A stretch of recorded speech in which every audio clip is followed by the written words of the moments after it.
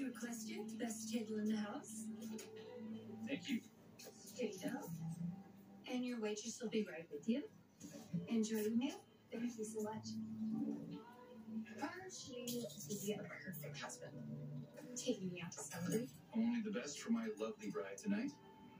Happy anniversary. Just a little bit early. Man, early, late, every single day with you is a celebration.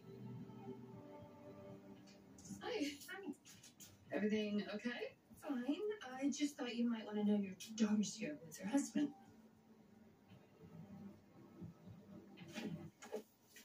Oh, Kristina, hi. Ava. Hi. Uh, I just came to see my dad. Um, is he here?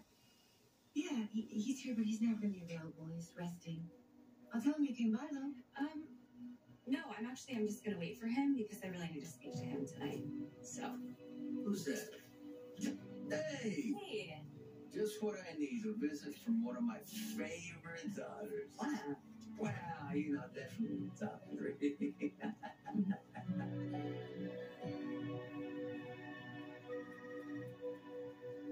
Drew. Hi. Hey, Carly, Wow, it's really great to hear your voice. and yours. Look, I'm calling because I need to get in touch with Jason, and I don't have a way to reach him.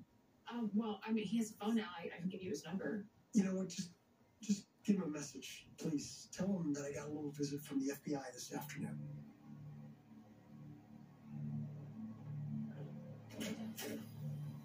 you. Thank you for meeting me in the parking lot. This isn't the best area of town. Why did you want to meet here in the first place? because this is going to be my office.